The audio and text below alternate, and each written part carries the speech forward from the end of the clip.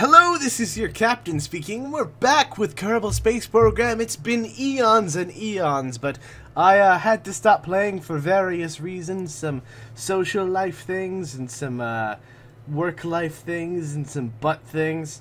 And um, also, I lost save files due to uh, due to updates, so that was kind of shitty.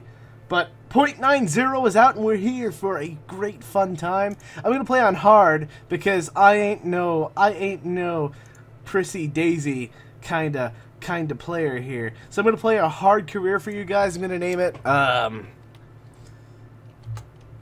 But Buttnik 2. Yes. I probably named something like that in the last series, I don't remember. This is going to be great. Alright, so this is the new Space Center, although it may not look that new. It's got a bunch of Tier 1 buildings that you can upgrade into the old buildings that were there before.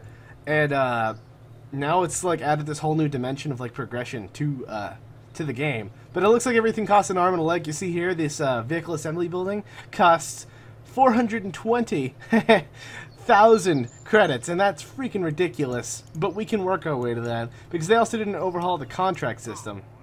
Alright, yeah, to you too, buddy. So, contracts here: launch a new vessel, set an altitude record of 5,000 meters. Those seem very doable. You can only accept two contracts at once, so we're just gonna get started right away and knock this first easy mission out because the first mission is very, very easy.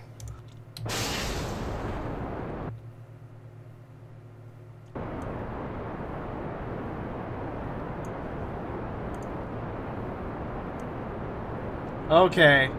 I was gonna skip through the first few missions for you guys so you didn't have to see it. But I messed up the first launch here. Oh, jeez. Oh no, this is a disaster already right off the bat. What have I done? I just gotta wait for it to run out. Whoops. Oh, hey. Oh my god, he's gonna survive the disaster. Okay, I'm gonna collect science while I, while I slowly descend to the ground. Ah, I messed up the first mission. God dang it. But I landed safely. I'm gonna hop out onto the ground. I'm gonna do some freaking reports. EVA report. Perfect. Can I not take samples from the ground anymore? Maybe that's the thing I have to upgrade in science. Oh, that sucks. That sucks. A big butt. Oh well. I'm gonna try and knock out the first few missions uh, without uh, any catastrophic failures, failures like that again. Um, yeah. Alright, so after that embarrassing mishap with that first mission, I was actually unable to get enough science from that to um, start unlocking all these uh, tier 2 parts here. So I'm just going to do that right here. Uh, just going to start doing my actual video missions, because I was going to skip through the first one, because it was going to be boring for you guys. Okay, so I already achieved my 5,000 meter goal and I already launched a craft. So that's the first two contracts done. So I'm already kind of rolling in dough from that stuff. Pretty psyched about that. I'm going way higher than I need to on this mission. But, uh, yeah, screw it. I don't need to go any higher than I'm already going. I'm just going to go back down to the planet now. Alright. Uh, fast forward. Whoa. I want to go faster. Let's go fast towards the ground. This is a bad idea. yes! I got fire effects. Oh, this guy's... This this Shep Can Kerman, this hero who survived the tragic first mission, I'm now forcing him to, uh, to go on this second mission, where he's probably going to die because I just sent him careening towards the ground at extreme speeds. I'm gonna go ahead and dump this stage right here, and now I'm just on the slow stage. I'm gonna pop this uh, mystery goo containment unit in the water. I want to go faster, faster towards the ground. You always want to go faster. That engine almost collided with me. All right, time warp, time warp, time warp. Let's go. Do it faster. Make it stronger. Time warp better. Okay. And sploosh. Do that. I do an EVA report. No, don't do that. EVA report. Get back in the thing. Oh, this is going to be a trial and tribulation right here, is getting back in the freaking ship. Oh, wasn't so, so, wasn't so hard. Now I just now I just look like an asshole. Next mission! Alright, I did something crazy. I shrilled right into that contracting office and I was like, Yo, jerkface, I need you to give me the two hardest contracts you got. And they were like, Sir, could you please leave the building or talk to us nicer because we, we're paid employees here. We don't deserve to be spoken to like that. And I was like, oh, I'm sorry, my bad. I was just feeling overly confident. And they were like, okay, it happens to everyone sometimes, but, but just please, we, we, will call the police if you uh, continue to be such a rambunctious customer. And I was like, okay, my bad.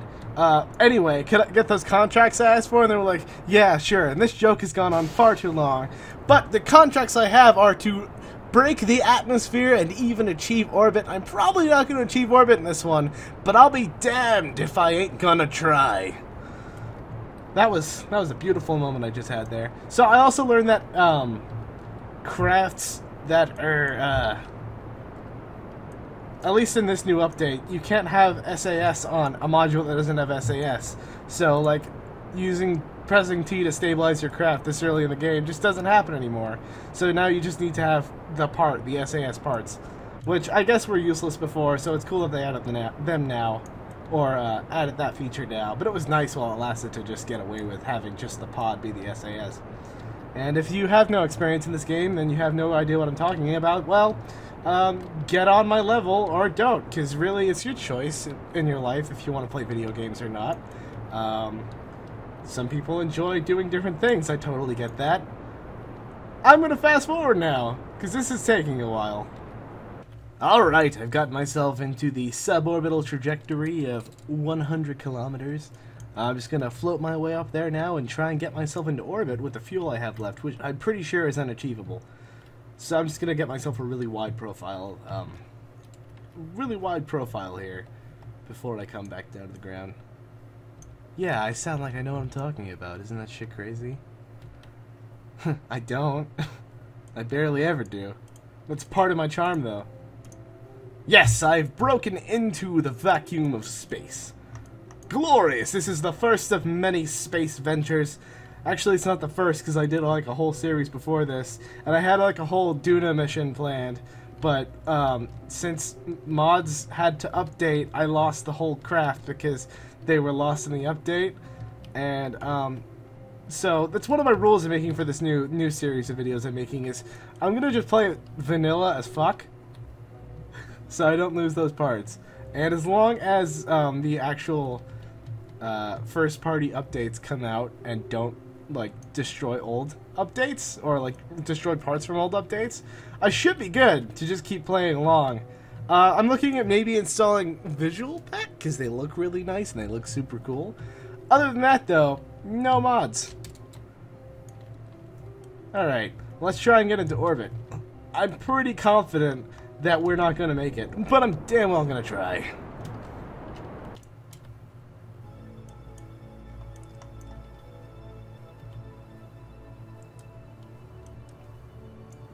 Well, I kind of got myself into orbit, but it's too low on the other side. And if I burn this last fuel here to get actually into orbit, gonna kind of mess it up. Or at least leave myself stranded in space. Actually, fuck it. We're gonna do that. It's gonna be fun. It's gonna be a fun adventure for everyone, except for um, Shep Shepkan Kerman here, because he's probably gonna die in the process. But what is space travel without death? Tell that to Laika. Oh, I just made myself sad. Laika, in case you don't know, is the dog the Russians launched into space on Sputnik 2. And, uh, poor thing, made it up to space in the name of science. It was a Russian stray dog, so, like, it didn't really have an owner or a family. Made it up to space, and they were gonna poison it to kill it, like, just kind of kill it a little bit peacefully, but it died of heat exhaustion instead. And that's, that's a sucky thing. But that dog is pretty much a hero. Alright. A burn here. I didn't just fart. Uh, here's still burn here. burn the last time I threw. Too much. Oh no. okay. Well, I just fucked myself. But I'm now successfully in orbit, and now I have to get back to uh, Kerbin.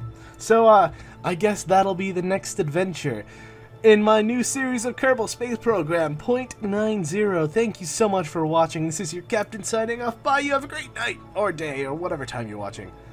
Bye bye.